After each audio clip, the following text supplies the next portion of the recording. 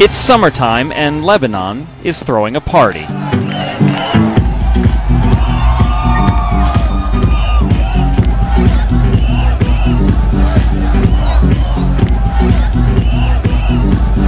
But it's not just these over the top parties and concerts.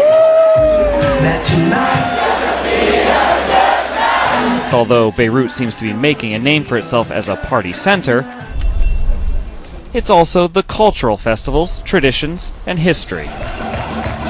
All these festivals are held in historic sites, which gives that edge, that blend of, his, of history and contemporary performing art.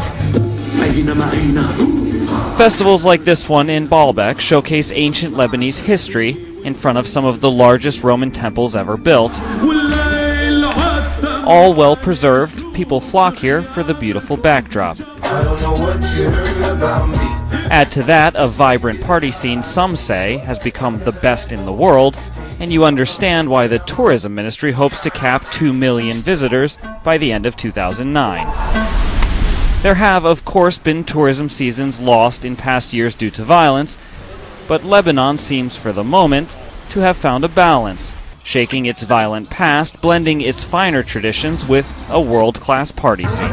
For years, Beirut was known as a combat zone, but you got to put that out of your mind because now Beirut is this. Beirut was considered a regional tourism spot, but no longer.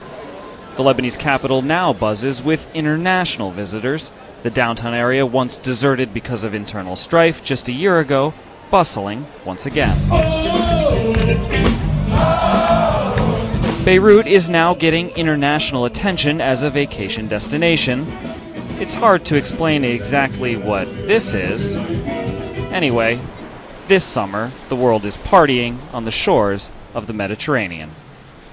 Cal Perry, CNN, Beirut.